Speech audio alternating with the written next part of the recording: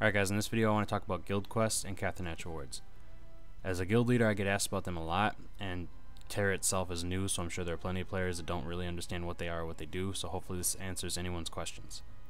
Guild quests can be accepted after you become a member of any guild. They can be found on bulletin boards in most major towns, and upon completion they give you Catharnach awards.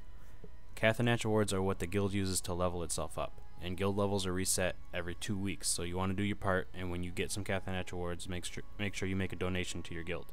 I know my guild requires at least one Catharnach award a week, or two in a two week period.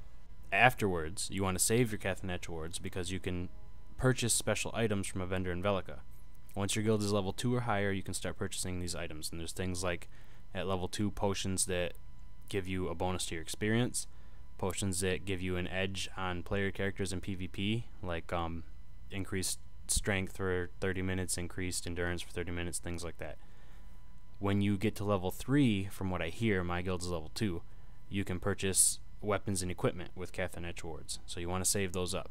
So hopefully this helps anybody out that had any questions. This is where the vendor in Velica is located that sells the special items, so check the minimap at the bottom right of the screen if you're not sure where to find her. Um, there's also a picture on my guild website. There's a link in the details that will take you to the forum. And thanks for watching.